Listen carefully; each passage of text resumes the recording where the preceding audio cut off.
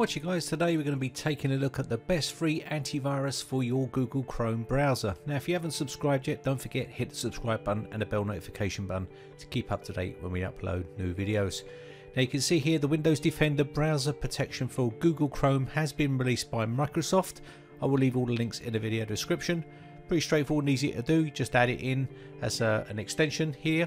Uh, but you can search for the uh, browser extension in the Chrome uh, web store, just type in there Windows Defender and uh, that will then show you Windows Defender browser protection.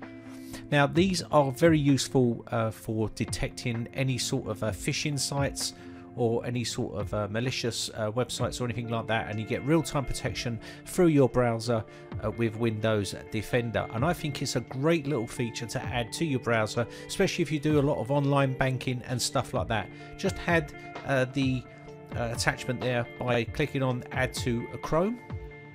And uh, you should be okay. That should be it. You should be having it added to your browser. And uh, basically from there you should be protected. You can see now it's gone green. And uh, you can see up here we do now have a little icon saying Windows Defender browser protection. Got that little shield there.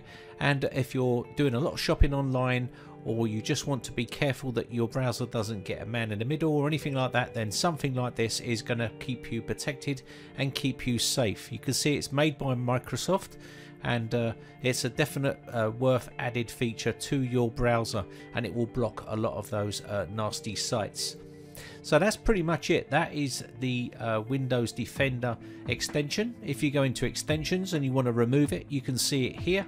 All you need to do here, I'm just going to click on details and it will show you all the details here and uh, you can see protect yourself against online threats, phishing sites and malicious websites uh, with real-time protection from Microsoft.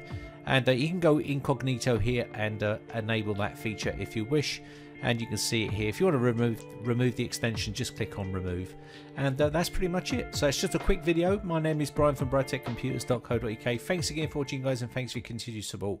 Bye now if you haven't subscribed yet hit the big red subscribe button on my YouTube channel and hit the bell notification button next to that to be notified when we upload new videos